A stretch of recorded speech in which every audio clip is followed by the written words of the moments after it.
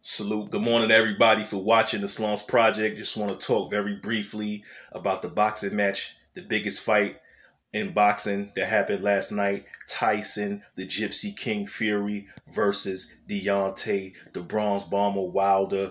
It was a good fight. I just want to say that. Salute to both of those guys. But the better man prevailed, which was Tyson Fury.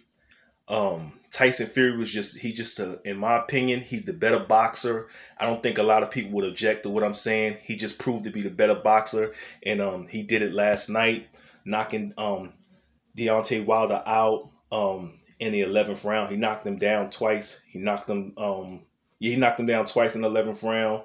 Uh, the ref called it the second time, and it was it was over from there. Um, salute to Deontay Wilder. He had he proved that he had a lot of heart. He kept coming, but he gassed out in the first few rounds, and I feel like that was the deciding factor uh, of the fight. Fury was hitting um, Deontay Wilder with a lot of stiff, strong power punches, jabs, and Deontay Wilder didn't have no answers. He had no head movement. In my opinion, he had zero defense, and it, it costed him.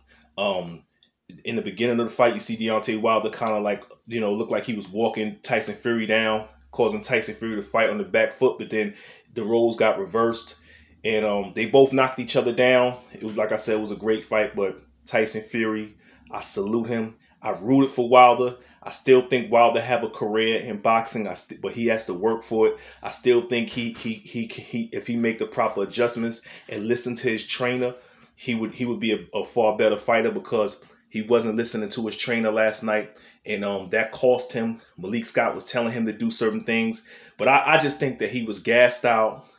I think that the better man won, and the better man was Tyson Fury, and I'm giving Tyson Fury his respect, and I feel like Tyson Fury is the best heavyweight champion in the world.